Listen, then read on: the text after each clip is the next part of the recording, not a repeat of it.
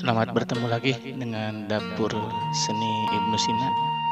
Kali ini saya akan berbagi pengalaman hasil ngebolang minion. Alhamdulillah sambil goes mendapatkan bahan minion dan langsung di tak jauh tempat dari hasil ngebolangnya kita coba langsung olah mudah-mudahan bisa berhasil tumbuh karena minion itu tidak mudah tumbuhnya karena kandungan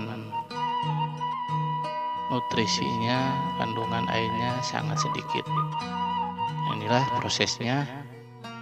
Selamat menyimak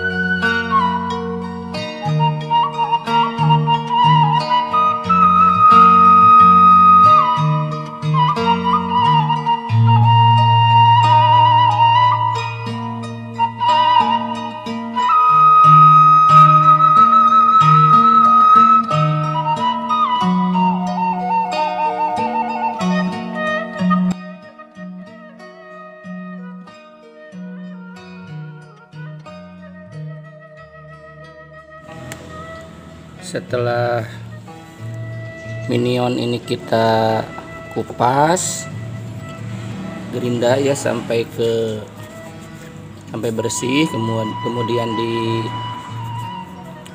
amplas tiba saatnya untuk dipelitur supaya terbebas dari kemungkinan pecah pecah batok atau retak batok.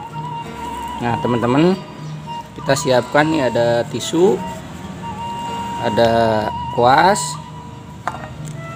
gelas mineral minyak kelapa sama pelitur. Ini disimpan di tas air mineral. Nah tiba saatnya kita untuk melindungi semua ini bahan-bahan ini dengan pelitur eh, terlebih dahulu dibersihkan pakai minyak sayur dulu. Oke kita lihat bagaimana prosesnya